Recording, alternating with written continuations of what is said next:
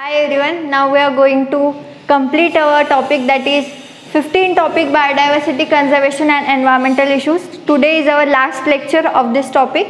Uh, आज आपला हा टॉपिक कंप्लीट होईल. आज आपलं लास्ट लेक्चर आहे या टॉपिकचं सो आज आपण तीन पॉईंट्स डिस्कस करणार आहोत.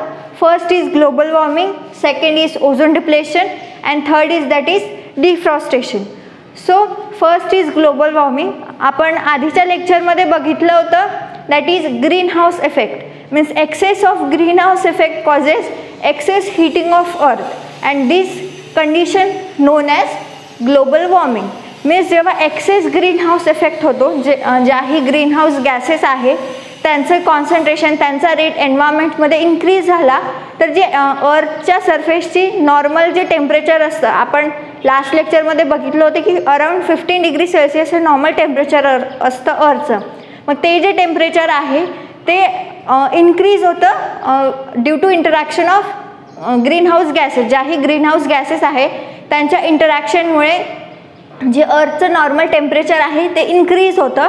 आणि जेव्हा त्याची बियॉन्ड द लिमिट ते इन्क्रीज होतं such condition that causes heating of earth or increase in temperature of earth this known as global warming सध्याची जी काही कंडिशन आपल्या अर्थवर चालू आहे. That is all because of global warming जी काही एक्सेस हीट जनरेट होत आहे अर्थ सरफेसवर this is just because of condition that is global warming मग हे जे टेम्परेचर आहे याचं एक रेट आहे इन्क्रीज झाला आहे ड्युरिंग पाच सेंचुरीज पाच सेंचुरीजमध्ये जोही चेंज आला आहे टेम्परेचरमध्ये अर्थच्या it is around zero point six degree Celsius in last three decades ज्याही तीन डिकेट्स मीन्स दशक जेही तीन डिकेट्स आहे लास्ट थ्री डिकेट्सपासनं जेही टेम्परेचरमध्ये चेंजेस आले आहेत नॉर्मल अर्थ टेम्परेचर जे असतं एन्व्हायरमेंटमुळे चेंज होणारं टेम्परेचर नाही जे नॉर्मल अर्थचं टेम्परेचर असतं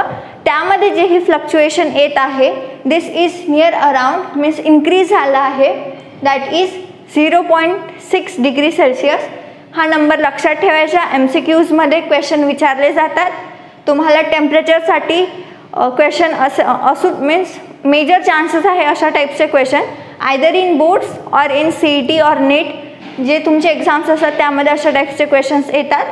सो नंबर लक्षात ठेवायचा कारण की आपण याच्या आधीसुद्धा टेम्परेचरचे नंबर्स बघितले आहेत. सो कन्फ्यूज होतं की कुठला टेम्परेचरचा काउंट कशासाठी आहे? So zero point six degree Celsius हा temperature count increase in temperature in last three डिकेटसाठी आहे. So this is change in a temperature due to global warming in last three decades the next ही जे global warming condition आहे as a result काय असं means what does global warming causes जे काही global warming condition आहे याचा overall result आपल्याला सगळ्यांना माहीतच आहे की ग्लोबल वॉर्मिंगचा रिझल्ट एकच असतो दॅट अनफेवरेबल क्लायमॅटिक चेंजेस होतात.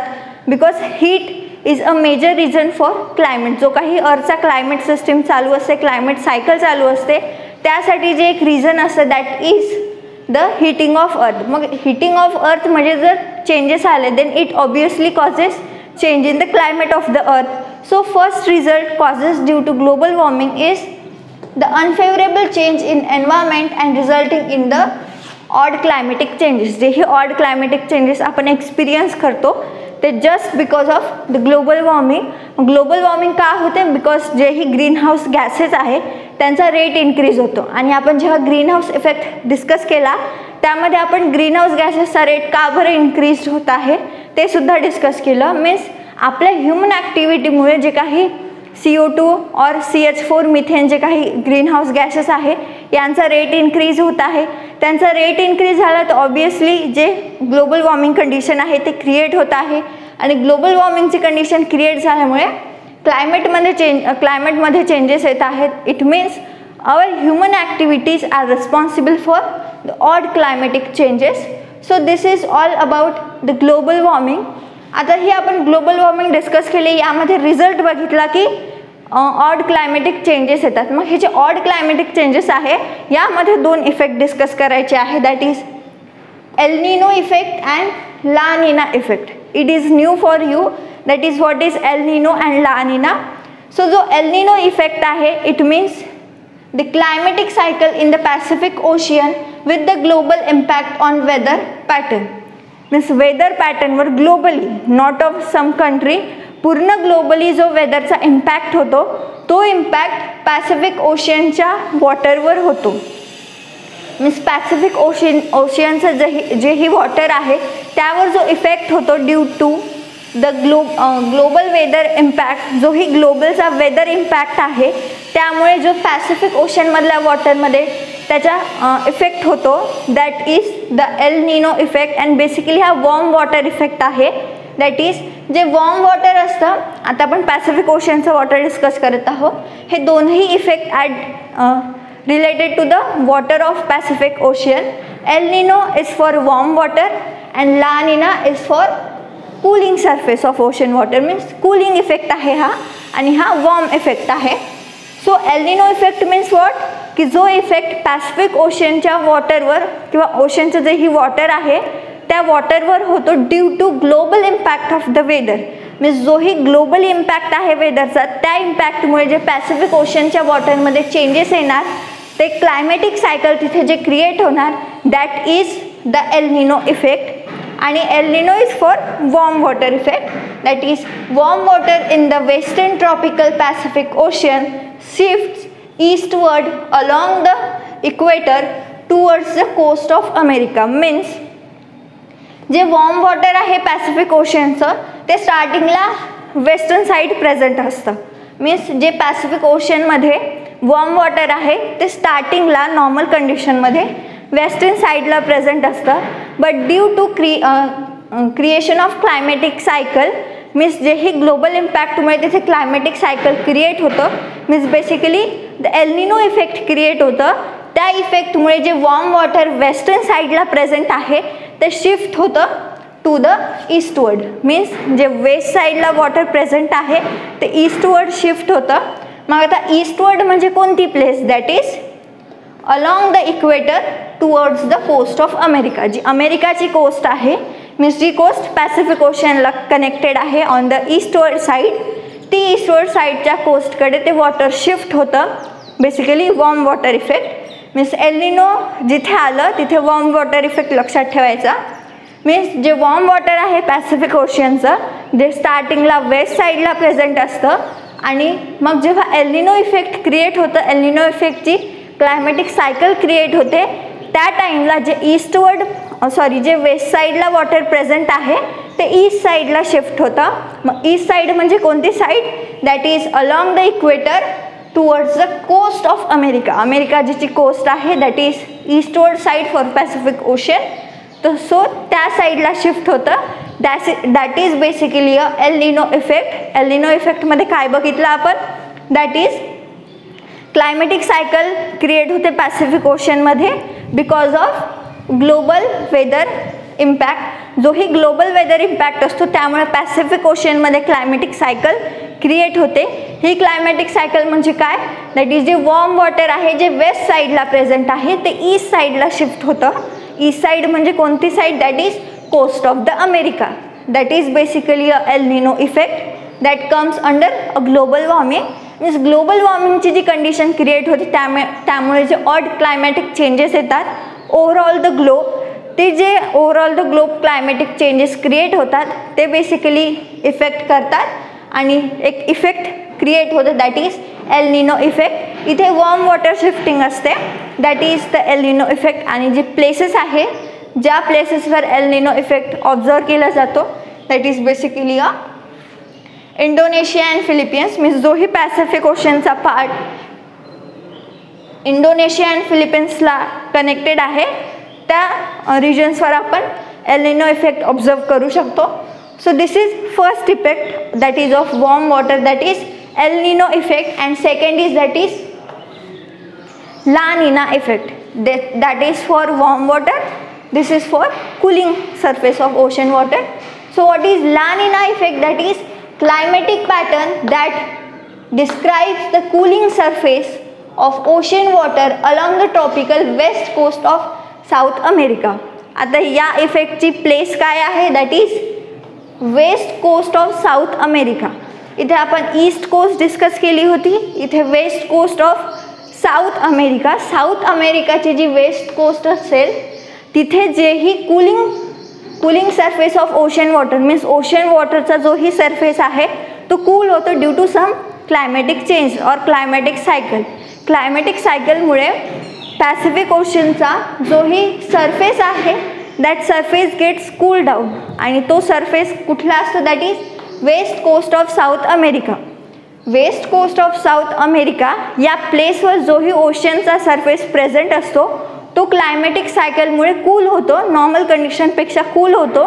This effect is known as La Nina effect so आपण दोन इफेक्ट डिस्कस केले that is El Nino and La Nina generally in short word लक्षात ठेवायचं झालं that is El Nino for warm water and La Nina for cooling surface of ocean water so this is basically two effect that you studied under global warming हे दोनही effect होण्याचं reason म्हणजे that is global warming global वॉर्मिंगमुळे जे odd climatic changes येतात along the globe that directly impacts El Nino effect and La Nina effect so this is basically a global warming places लक्षात ठेवायच्या. एलनिनोमध्ये आपण दोन प्लेसेस डिस्कस केल्या. That is Indonesia and Philippines and the coast of America आणि लानिनामध्ये आपण एक प्लेस डिस्कस केली. That is west coast of South America this is all about the global warming global warming means त्याचे जे ही reasons आहे कॉज होण्याचे ग्लोबल वॉर्मिंग ते आपण ग्रीन हाऊस इफेक्टमध्ये डिस्कस केले होते. आणि आज जे ही रिझल्ट आहे किंवा इफेक्ट आहे जे ग्लोबल वॉर्मिंगमुळे होतात आपण ते डिस्कस केले. तुमच्या सिलेबसमध्ये एलिनो अँड लानिना इन्क्लुडेड आहे. म्हणून मी तुम्हाला एक्सप्लेन केलं. सो लक्षात ठेवा. That is what is El Nino effect and La Nina effect confusing आहे. इव्हन नावंसुद्धा कन्फ्युजिंग आहे. पण नॉर्मली लक्षात ठेवायचं that is El Nino for warm water and La Nina is for cooling surface of ocean water this is basically a global warming next topic next today's topic that is ozone depletion so तुम्ही आधीपासूनच तुम्हाला माहीत आहे that is what is ozone layer and what is ozone depletion what is ozone hole हे सगळ्या गोष्टी आधीपासूनच आपण शिकत आहोत. जस्ट आपल्याला नॉर्मली डिस्कस करायच्या आहेत. इन आन्सर रायटिंगमध्ये सुद्धा तुम्ही नॉर्मल तुम्हाला जे समजलं आहे अबाउट ओझोन डिप्लेशन ते तुम्ही तिथे मेन्शन करू शकता. जे टेक्स्टबुकमध्ये वर्ड्स आहे तेच कट टू कट वर्ड्स तिथे मेन्शन करायचे नाही. बायोची जी बायोलॉजीची जी काही आन्सर रायटिंग आहे जे ते जे जेवढी तुम्हाला समजेल तेवढं तुम्ही ते तिथे राईट करू शकाल. जेवढंही कन्सेप्ट आहे along the text textbook state बोर्डचं टे टेक्स्टबुक रेफर करायचं प्रिपरेशनसाठी that is ideal book for preparation आणि तिथे जेही कन्सेप्ट आहे त्या तिथनंच समजून घ्यायच्या. After the reading of state book textbook next तुम्ही कुठलाही नोट्स रेफर करू शकता. सो फर्स्ट आता आपण डिस्कस आपण ग्लोबल वॉर्मिंग डिस्कस केली. त्यातले इफेक्ट डिस्कस केले. Now we are going to discuss that is ozone depletion आता ओझोन लेअर काय आहे? कुठे प्रेझेंट आहे? हे माहीतच आहे बट तरीही डिस्कस करू. That is ozone is a form of oxygen that is molecular formula is O three ozone is denoted by O three normal oxygen is denoted by O two आणि जे ओझोनचं oxygen असते that is ozone is a form of oxygen it is denoted by O three next ozone layer is present on stratosphere तुम्ही अर्थच्या जे काही atmosphere आहे त्यात डिफरंट लेयर्स प्रेझेंट आहे. एअर्सच्या ॲटमॉस्फिअरचे जे काही लेयर्स आहे ट्रोपोस्पियर स्ट्रॅटोस्पियर आयनोस्पियर ह्या जे काही लेयर्स आहे यातली ज्या लेअरमध्ये ओझोन लेअर प्रेझेंट असते that is stratosphere layer now आपण ओझोन हा जो वर्ड आहे basically ozone not ozone layer हा जो ओझोन वर्ड आहे दॅट इज ओ थ्री याबद्दल काही त्याचे कॅरेक्टरिस्टिक डिस्कस करू. That is ozone is photo dissociate and it is generated by absorption of short wavelength of U V radiations means ozone हा photo dissociates आहे. That means जेव्हा ही photo means basically a sunlight जिथेही आता तुम्ही बायोलॉजीमध्ये photo हा word बघाल that means sunlight photo is basically for the sunlight or light so ozone is photo dissociate means जेव्हाही सनलाईटच्या कॉन्टॅक्टमध्ये सनलाईटचे जे काही रेज आहे यू व्ही रेडिएशन्स आहे त्याच्या कॉन्टॅक्टमध्ये जेव्हा ओझोन येतो इट गेट्स डिसोसिएट तो डिसोसिएट्स होतो. They ozone is photo dissociates then it absorb the short wavelength of U V radiations means जे ही सनचे यू व्ही रेज असतात त्यात बेसिकली एक त्याच रेडिएशनच्या ज्या रेज आहेत जे रेडिएशन्स ओझोन लेअर ॲब्झॉर्ब करतात आता कुठल्या रेडिएशन्स ओझोन लेअर ॲब्झॉर्ब करते ते आपण नेक्स्ट याच्यात बघणार आहोत. फर्स्ट वी श we would discuss in shortly that is ozone layer हे फोटो डिसोसिएट्स असतं that means ozone layer is photo disso dissociate means जेव्हाही सनलाईट किंवा सनरेज ओझोन लेअरच्या कॉन्टॅक्टमध्ये येणार बेसिकली ओझोन मॉलिक्युलच्या कॉन्टॅक्टमध्ये येणार इट विल गेट डिसोसिएट्स आणि ज्याही यू व्ही रेडिएशन्स आहेत जे यू व्ही रेडिएशन्स मीन जे ज्या रेडिएशनच्या U V rays ozone layer absorb करतं ज्याची wavelength is suitable for absorption of ozone layer ते जे काही रेज आहे हे डायरेक्टली ओझोन लेअर ॲब्झॉर्ब करत असतं. सो टू कॅरेक्टरिस्टिक्स बघितले आपण that is ozone is a photo dissociates means जेव्हाही सनलाईटच्या कॉन्टॅक्टमध्ये येणार तेव्हा ओझोन हा डिसोसिएट्स होणार. आणि ज्याही पर्टिक्युलर एक वेवलेनची यू व्ही रेडिएशन्स आहे त्या वेवलेनच्या जेवढ्याही यू व्ही रेडिएशन्स असणार ती ओझोन लेअर ॲब्झॉर्ब करणार. This is basically two characteristics of ozone only a ozone not a ozone layer so this is two characteristic of ozone molecule आता ozone मॉलिक्यूलचं formation and dissociation कसं होतं ते बघू. So first whenever the ozone molecule comes in contact with sun rays it get dissociates and form O2 and a of O and when again this again this O2 and single molecule of O comes in contact of UV radiations म्हणजे आहे संशय U V radiations ozone layer absorb करतात त्या लेअरच्या कॉन्टॅक्टमध्ये आल्यानंतर आणखी ozone formation होतं this is basically cycle O three gets convert into O two and O and again O two and O gets converts into the O three This is basically a explanation and introduction of ozone, only a ozone, not a ozone layer. Now we are going to discuss the ozone layer, means ozone, uh, thousands and millions of uh, molecules of ozone combiningly forms the ozone layer. Means innumerable मॉ molecules असतात ओझोनचे ते सगळे molecule मिळून एक layer form करतात. That is ozone layer it present in stratosphere now we are going to discuss what is ozone layer ozone layer is thickness is on poles than the thickness is more above the poles than the equator मी जे काही north आणि south pole आहे अर्थ ग्लोबचे त्या पोल्सवर ओझोनची जी का ozone लेअरची जी thickness आहे ती जास्त असते कंपॅरिझन टू द इक्वेटर्स आता इक्वेटर्स काय आहे? पोल्स काय आहे? हे आपण आधीच एन्व्हायरमेंटच्याच लेक्चरमध्ये डिस्कस केलं होतं. सो दॅट इज जो ही अर्थचा ग्लोब असतो जो मिडल पोर्शन असतो त्यात एक रे असते एक लाईन असते that is a equator line आणि जे ही एंड्स असतात that is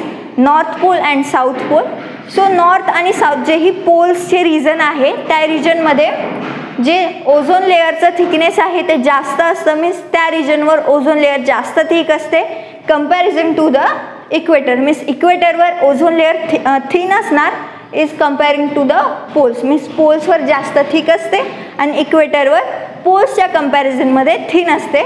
So this is basically distribution of ozone layer इक्वेटरवर ही थोडी थिन असणार आणि पोल्स रिजनवर ही थोडी थिक असणार.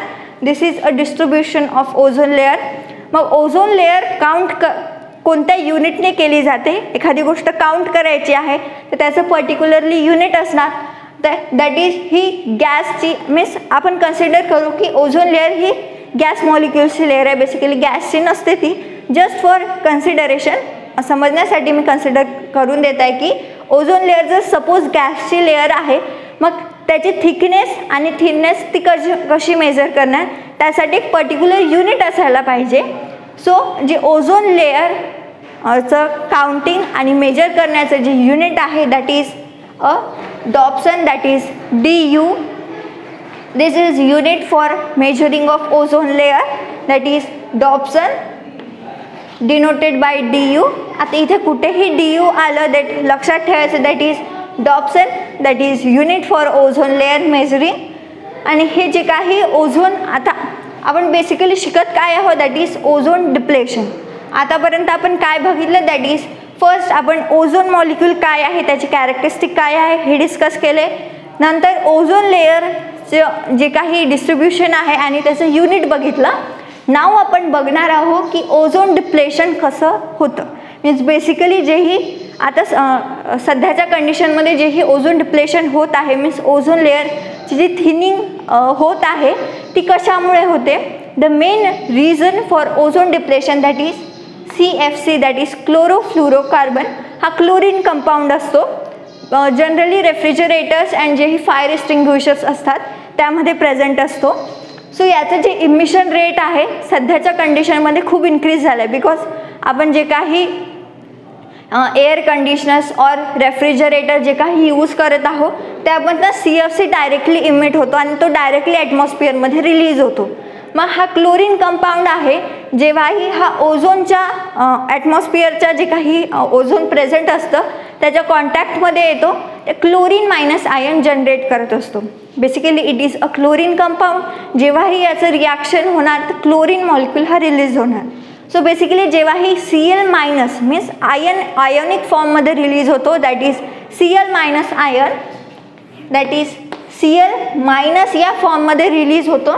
सो जेव्हाही हा सी एल मायनस हा आयोनिक फॉर्म आहे आपण केमिस्ट्रीमध्ये बघितलं आहे की दॅट इज कुठलाही मॉलिक्यूल असो जेव्हा तो आयोनिक फॉर्ममध्ये असतो it is it may be anion it may be cation जेव्हा तो स्टॅबिलिटीकडे मूव्ह होतो मीन्स आयोनिक फॉर्म हा जास्त वेळ आयोनिक फॉर्ममध्ये राहत नाही it moves toward the stability so हा जोही C F सीमधनं C L minus ion release होतो हा डायरेक्टली रिॲक्ट होतो. ओझोन मॉलिक्युलशी आणि ओझोन मॉलिक्युलशी रिॲक्ट होऊन हा ऑक्सिजन रिलीज करतो. आणि हा रिॲक्शनमध्ये पार्टिसिपेट करतो बट यूज होत नाही. That means it works as a catalyst आपण कॅटलिस्ट बघितले आहे आधीच.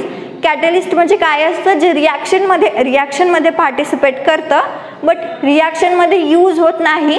ॲट द एंड त्याचं जेही अमाऊंट असेल ते अगेन जोही प्रॉडक्ट असतो रिॲक्टंटमध्ये यूज होत नाही. डायरेक्टली जो फर्स्ट तो जो अमाऊंट आहे कॅटलिस्टची ती रिगेन होत असते. सो बेसिकली कॅ C L minus ion act as a catalyst तो स्वतः यूज होत नाही. जो ही ओझोन मॉलिक्यूल आहे याला डिसोसिएट करतो आणि जे ही ओझोन मॉलिक्युल्सनी फॉर्म झालेली लेयर आहे याला थिन करतो. So basically reason for ozone depletion that is C L minus ion आणि हा रिलीज कुठनं होतो? That is C F C जे ॲटमॉस्फिअरमध्ये directly C F C enter होतं from the air conditioners and रेफ्रिजरेटरमधनं जेही सी एफ सी डायरेक्ट ॲटमॉस्फिअरमध्ये release होतं. त्यामधनं C L minus ion release होतो.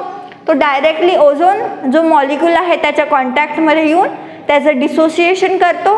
आणि due to that reason because हा यूज होत नाही हा again and again single molecule of C L minus ion can react with number of molecules of ozone कारण की हा यूज होत नाही just as a depletion perform करतं आणि रिलीज होत नाही त्या रिॲक्शनमध्ये आणि दुसऱ्या रिॲक्शनमध्ये पार्टिसिपेट करतं.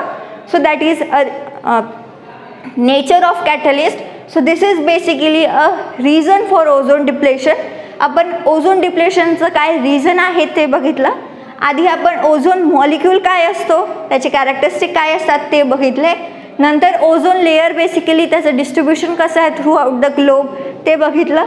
नंतर रिझन फॉर ओझोन डिप्लेशन ते बघितलं. नाव आता जे डिप्लेशन आहे बेसिकली ओझोन लेअरचं इट कॉजेस ओझोन होल आपण तुम्ही ओझोन होल काय आहे हे बघितलं असाल that is ozone hole means त्या पर्टिक्युलर रिजनवर जे ही ओझोन लेअरची थीन आहे ती जा ती जी लेअर आहे ती जास्त थीन आहे. Comparatively to the other regions जे काही ओझोन लेअरचे अदर रिजन आहे त्या रिजनच्या कम्पॅरिझनमध्ये जो अंटार्क्टिकाचा जो पोर्शन आहे त्या पोर्शनमध्ये जे ओझोन लेअर आहे ती जास्त थीन आहे. So this is basically a ozone hole present on above the ॲटमॉ region of Antarctica अँटार्क्टिकाच्या रिजनवर जो ही ओझोनचा लेअर आहे ओझोनची लेअर आहे ती दुसऱ्या रिजन्सपेक्षा जास्त थीन आहे. That means it knowns as ozone hole present above the region that is Antarctica हे कॉमनली लक्षात ठेवा बेसिकली एम सी क्यूज बोर्डच्या एम सी क्यूजमध्ये वगैरे विचारल्या जाऊ शकतात. ऑप्शन्स असतात कंट्रीजचे आपण या आधीसुद्धा जेव्हा इफेक्ट्स बघितले त्यात अमेरिका साऊथ अमेरिकाच्या कंट्रीज बघितल्या आणि इथे अंटार्क्टिका सो ओझोन होल जो ज्या रिजनशी रिलेटेड आहे दॅट इज अंटार्क्टिका आपण जेव्हा आधी ओझोन डिप्लेशन हे शिकलो त्यामध्ये आपण शिकलो की पर्टिक्युलर जे यू व्ही रेज आहे यू व्ही रेडिएशन आहे ते ओझोन मॉलिक्यूल ॲब्झॉर्ब करतं आता कुठले यू व्ही रेडिएशनच्या और वेवलेनचे U V radiations ozone molecule absorb करतं आणि कुठले U V radiations ozone molecule reflect back करतं टू द सोलर सिस्टीम ते बघायचे आहे. That U V radiation shorter than U V B means आता U V B U V बीपेक्षा जेही U V radiation shorter असतात ज्यांची वेवलेंथ यू व्ही बीपेक्षा shorter असते मग कुठली यू व्ही कुठले wavelength that is the wavelength of radiations near around hundred to two eighty nanometer ज्याही U V radiations या वेवलेंथच्या अराउंड असणार त्या U V radiations atmosphere absorb करतं. That is absorb by the atmosphere या वेवलेंथच्या ज्या you V radiations आहे ते ॲटमॉस्फिअर ॲब्झॉर्ब करतं. मग ज्या रेडिएशन्स या वेवलेंथच्या जास्ती आहे या वेवलेंथच्या जास्ती असणाऱ्या U V radiation means this radiations are known as U V B radiation ज्या यू ज्या रेडिएशन्सची वेवलेंथ यू व्ही बी पेक्षा कमी असते that is hundred to two eighty nanometer आणि ज्या यू यू व्ही रेसच्या रेडिएशन या वेवलेंथपेक्षा जास्त असते ती यू व्ही रे म्हणजे that is U V B ray it has wavelength two eighty to three twenty two nanometer and it causes damage ही जी वेवलेंथच्या ज्या काही रेज आहे त्या डायरेक्टली डॅमेज करतात. ह्युमन डी एन एचं जेही कन्स्ट्रक्शन असते त्याला डॅमेज करतात जो काही स्किन कॅन्सर होतो that is basically a causes due to U V B radiations so this is basically two radiations first radiation that is from hundred to two eighty nanometer that is absorb by the atmosphere and the second radiation that is around two eighty to three twenty two nanometer that causes damages that doesn't absorb by atmosphere but ही जी raise आहे ही ही जी you V B रे आहे ती काही प्रमाणात ozone लेअरमुळे solar सिस्टीममध्ये reflect back होते. त्यामुळे जेही त्याचं कॉन्सन्ट्रेशन आहे जे अर्थ सरफेसपर्यंत पोहोचतं ते ओझोन लेअरमुळे बेसिकली रिड्यूस्ड होतं. मीन्स आता ओझोन लेअरचं फंक्शन काय आहे काय आहे? That is it protects earth surface from जे काही मोर हजार्डस रेज असतात. मोर डेंजर रेज असतात. सनलाईटपासून ज्याही रेज डायरेक्ट येतात ज्या रेज डॅमेज कॉज करू शकतात त्या रेजपासनं असरफेसला प्रोटेक्ट करण्याचं काम ओझोन लेअर करत असतं. मग त्या ज्या रेज ॲटमॉस्फिअर ॲब्झॉर्ब करतात ती रेज असते from hundred to two eighty मग यामधनं ज्याही अदर रेज आहे maximum rays are reflect back आणि ज्या रेज अर्थ सरफेसमध्ये अर्थ ॲटमॉस्फिअरमध्ये एंटर करतात आणि ज्या डेंजरस असतात that is U V B ray from two eighty to three twenty nanometer that causes damage आपण दोन रेज बघितल्या. First rays that has wavelength of hundred to two eighty nanometer and second rays that is U V B ray he U V B ray याची wavelength आहे. That is two eighty to three twenty nanometer and it causes damage हे आता आपण बघितलं की ॲटमॉस्फिअरमध्ये कुठल्या race absorb होतात? कुठल्या रेस डॅमेज कॉज करतात? आता हे जे काही ओझोन डिप्लेशन झालं आहे ओझोन डिप्लेशन का बरं झालं आहे because of use of C F C products means जेही product C F C gas release करतात त्या प्रोडक्ट्सचा यूज सध्याच्या कंडिशनमध्ये खूप इन्क्रीज झाला आहे. Due to that reason chlorine जो आयोनिक फॉर्म आहे क्लोरीनचा तो मॅक्सिमम प्रमाणात रिलीज होतो आणि तो यूज होत नाही. तो ज्या फॉर्ममध्ये प्रेझेंट आहे त्याच फॉर्ममध्ये एन्व्हायरमेंटमध्ये प्रेझेंट असतो. फक्त रिॲक्शनला स्टिम्युलेट करत असतो. So to reduce the C F C use जे सी एफ सीचे प्रोडक्ट आहे त्यांचे यूज कमी करण्यासाठी एक ॲक्ट लॉन्च झाले आहे that is act or basically a protocol that is Montreal protocol that was signed at Montreal of Canada in nineteen eighty seven means काही कंट्रीज मिळून हा प्रोटोकॉल साईन झाला होता. अकॉर्डिंग टू धिस प्रोटोकॉल जे हे C F C gas use होणारे product आहे जे ही मीन्स आपण जे ही जे जेही प्रॉडक्ट आहे that releases C F C means air air conditioner refrigerator यासारखे जे ही प्रॉडक्ट आहे जे सी एफ सी मॅक्सिमम प्रमाणात ॲटमॉस्फिअरमध्ये डायरेक्टली रिलीज करतात यांचा जो ही युजिंग रेट आहे तो रिड्यूस करण्यासाठी this protocol was launches that is Montreal protocol signed at Montreal in Canada in 1987 year आणि कुठे साईन झाला आणि कुठला प्रोटोकॉल आहे त्या तीन गोष्टी लक्षात ठेवायच्या. मॅच द फॉलोविंग ट्रू जे काही ऑब्जेक्टिव्ह क्वेश्चन असतात त्यामध्ये अशा टाईपचे क्वेश्चन येतात. बिकॉज या लेसनमध्ये आपण भरपूरसे ॲप्स भरपूरसे प्रोटोकॉल ट्रिटीज बघितले आहेत. त्या सगळ्या word to word with year with country लक्षात ठेवायचे with place at which it sign और ॲट विच इट इज ज्या प्लेसशी रिलेटेड आहे ते सुद्धा लक्षात ठेवायचं आणि इयर बेसिकली लक्षात ठेवायचं सो दिस इज ओझोन डिप्लेशनसाठी ओझोन डिप्लेशन बेसिकली कंट्रोल करण्यासाठी जो प्रोटोकॉल साईन झाला that is Montreal protocol sign at Montreal in Canada in nineteen eighty seven this is all about second topic of today's lecture first आपला topic होता that is global warming second topic that is ozone depletion त्यात आपण protocol बघितला that is Montreal protocol आता next आपण बघणार आहोत that is deforestation आता डिफ्रॉस्टेशन मीन्स वॉट जे ही फॉरेस्टचा जो काही पोर्शन आहे तो कट करून दुसऱ्या कुठल्या कामासाठी यूज्ड होतो मीन्स फॉरेस्ट कट केले जातात. फॉर अदर पर्पजेस ते जे काही फॉरेस्टची कटिंग आहे मीन्स जो ही फॉरेस्ट एरिया हा नॉन फॉरेस्ट एरियामध्ये कन्वर्ट होतो means that is forest area is converted in to non forest area this is a deforestation डिफ्रॉस्टेशनच्या opposite concept असते दॅट इज रिफ्रॉस्टेशन आता डिफ्रॉस्टेशनवर जेही मीन्स आपण कशा प्रकारे डिफ्रॉस्टेशन कमी करू शकतो याचं जे एक्झाम्पल आहे that is reforestation reforestation means that is completely opposite to the deforestation means non forest area is converted into forest area so this is deforestation means cutting of forest and reforestation means planting of forest or planting of trees so first discuss what is deforestation that is conversion of forest area into non forest area आतापर्यंत means till नाव कुठल्या किती प्रमाणात जे region आहे ते डिफ्रॉस्टेशनमध्ये include आहे? That is forty percent region of tropic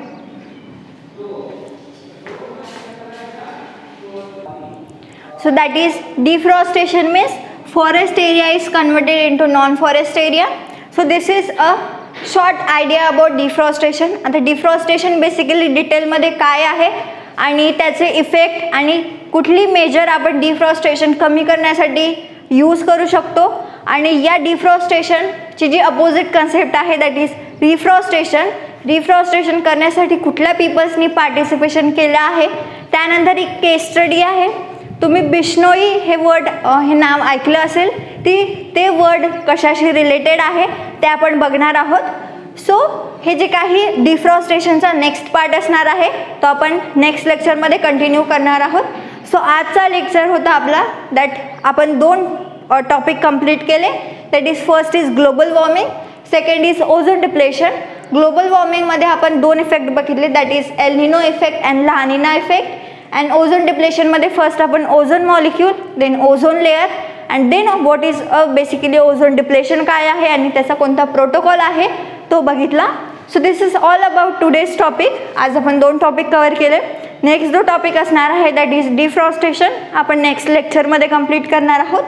So this is all about today's topic the global warming and ozone depletion thank you for today